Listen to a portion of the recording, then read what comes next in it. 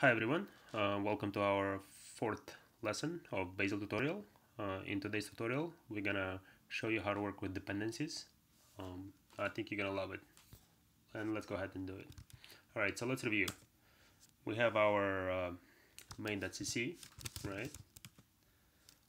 That basically includes a hello.h um, header, and that it needs a hello class, and then just calls say hi on it and now hello.h header looks like this where it's just simple class and the source for it uh, just simple hello bazel right?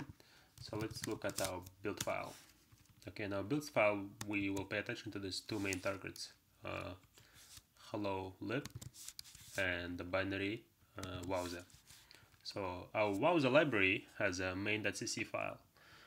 Uh, that cc file uh, needs the hello library as a dependency, right? And our hello library has two uh, files in it, hello cc and hello.h. Okay, so that seems clear, right? All right.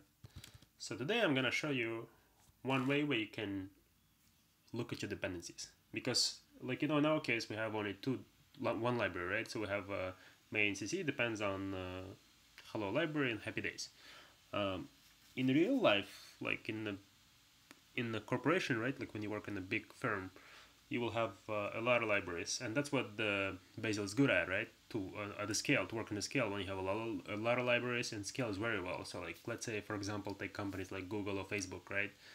Um, so the reason they really like Bazel, and you know, Facebook wrote their own thing uh, around Bazel, but the reason they like that like uh, this engine is because uh, it scales very well.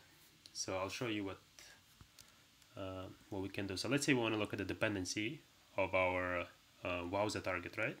So what we can do, we can say Bazel query, uh, and then say deps.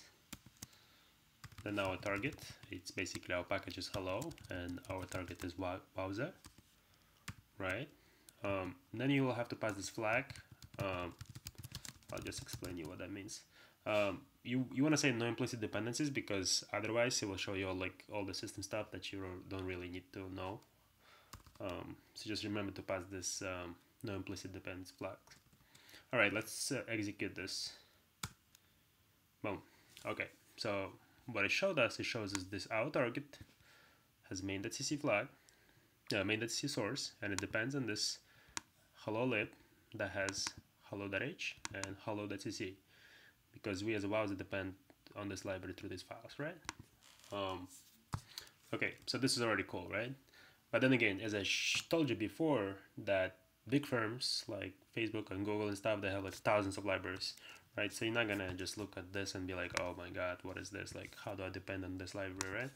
So there's another cool stuff what you can do is, uh, let's look at our command again. You can say output um, graph and then let's uh, pipe this to our graph that in right?